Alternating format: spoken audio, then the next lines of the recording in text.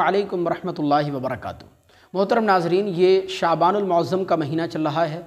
हमने अपनी पिछली वीडियोज़ में आपको बताया था कि पंद्रह शाबान यानी शब बारात में अल्लाह अपने बेशुमार बंदों की बख्शिश फरमाकर उन्हें जहन्नम से आज़ादी अता फरमाता है।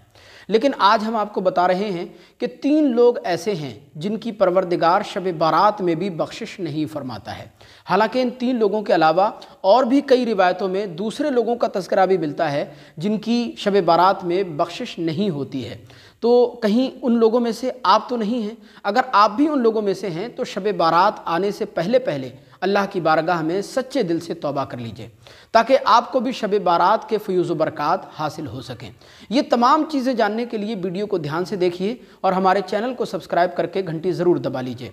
देखें गौस समदानी, कुतब रब्बानी, हज़रत शेख मुहीद्दीन अब्दुल्क़ादिर जीलानी रदी अल्लाह तु अपनी मशहूर किताब गनीत तालबीन में एक हदीस पाक नकल फरमाते हैं। फरमाते हैं, हुजूर ने इरशाद फरमाया कि मेरे पास हज़रत जब्राईल अमीन अलैहिस्सलातु व तस्लीम तशरीफ़ लाए। और हज़रत जब्राईल अमीन ने अर्ज़ किया, या रसूल अल्लाह सल्लल्लाहु अलैहि वसल्लम, अपना सरे अनवर आसमान की तरफ़ कीजिए। दूर फरमाते हैं, मैंने जब्राईल से पूछा कि जब्राईल ये कैसी रात है? हज़रत जब्राईल ने अर्ज़ किया, या रसूल अल्लाह ये शाबानमज़म की पंद्रहवीं रात, यानी शब बारात है। और शब बारात में अल्लाह तबारक व अपनी रहमत के तीन सौ दरवाज़े खोल देता है और अपने हर उस बंदे की बख्शिश फरमा देता है जो मुशरक ना हो। सिवाय तीन लोगों के। यानी तीन लोगों की आज की इस रात में भी मगफरत और बख्शिश नहीं की जाती। वो कौन से तीन लोग हैं? तो फरमाया पहला शराब का आदि, यानी शराब पीने वाला, लगातार शराब पीने वाला, इसकी भी बख्शिश शब बारात में नहीं होती है।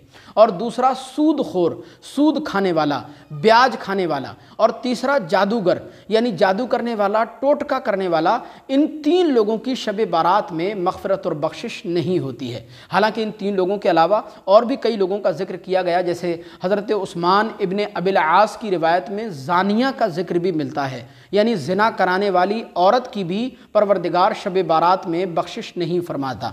और हज़रत अम्मी आयशा रदी अल्लाह तह की रिवायत में एक माँ बाप का नाफरमान माँ बाप के साथ बदसलूकी करने वाला माँ बाप के साथ नाफरमानी करने वाला और दूसरा तकबर के तौर पर अपना तहमन या अपनी शलवार या अपना पैजामा या अपनी पैंट ज़मीन से घसीटने वाला, ज़मीन पर लटकाने वाला और तीसरा रिश्तेदारी तोड़ने वाला, रिश्तेदारी को कता करने वाला। ये वो तमाम बदनसीब लोग हैं कि शब बारात में भी जो मगफ़रत और बख्शिश की रात है, जहाँ हर इंसान बख्शा जाता है, उस मुक़दस तरीन रात में भी इन बदनसीबों की मगफ़रत और बख्शिश नहीं होती है। अगर आप भी इन लोगों में से हैं, या आपके अंदर भी कोई इस तरह का गुना मौजूद है तो शब बारात आने से पहले पहले खुदा के लिए अल्लाह की बारगाह में सच्चे दिल से तोबा कर लीजिए।